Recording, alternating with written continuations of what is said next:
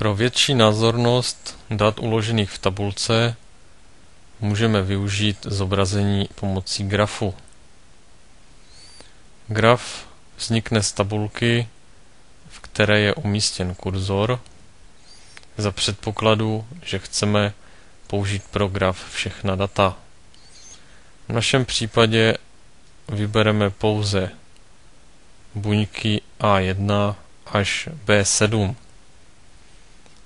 V menu Vložit vybereme položku graf.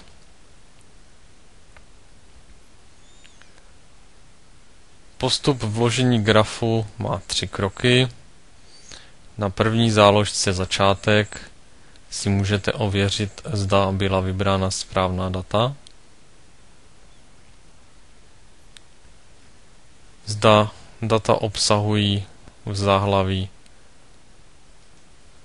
popisek datových řad a můžete zvolit jeden z předpřipravených typů, které jsou vhodné pro naše data.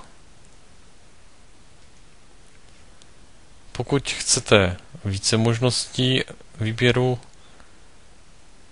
přejdeme na záložku číslo 2 a zde je přehled všech typů grafů, které můžete použít.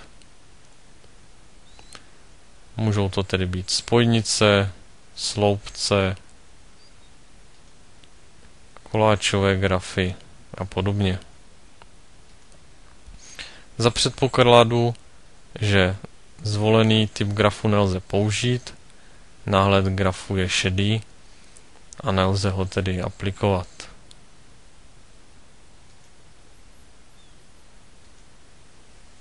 Vybereme například tento koblihový graf a přejdeme na třetí záložku přizpůsobit.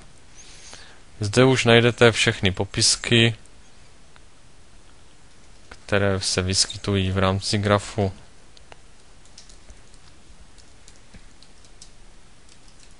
Graf můžeme pojmenovat, můžeme určit umístění legendy s jednotlivými měsíci,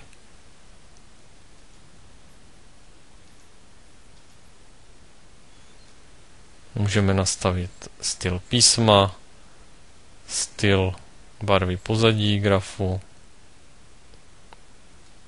Tyto vlastnosti se liší podle toho, jaký graf zvolíte.